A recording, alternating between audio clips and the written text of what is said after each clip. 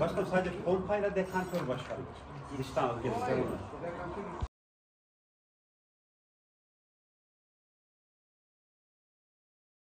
Azsa miktar solmaya başlasın. Devlette sıkıntı yok.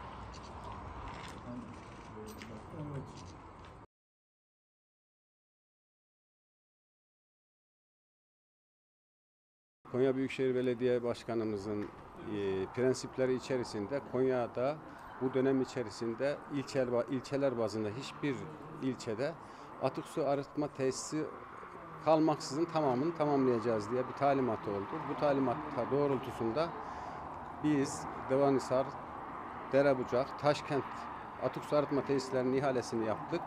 Şu anda da e, Derebucak atık su arıtma tesisleri inşaatının içerisinde bulunuyoruz. Şu anda inşaatımız yaklaşık yüzde 60 civarında tamamlandı. Mekanik elektrik ekipmanları atölyede tamamlanıyor. Onlar da geldikten sonra inşallah burayı da yıl sonu itibariyle hizmete açmış olacağız. Burası yaklaşık 3000 nüfusa hizmet edecek.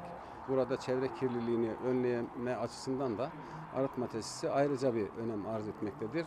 Dolayısıyla ileri teknolojiyle e, biyolojik ileri biyolojik atık arıtma tesisleri yaptığımız için de buradan çıkacak olan suyu yakın tarımsal faaliyet yapan bölgelerde de rahatlıkla kullanabilecekler. İnşallah yıl sonu itibariyle devre aldıktan sonra da hizmete devam edecektir. Arıtma tesisimizin Derebucağımıza ve Konya'mıza hayırlı olmasını diliyorum.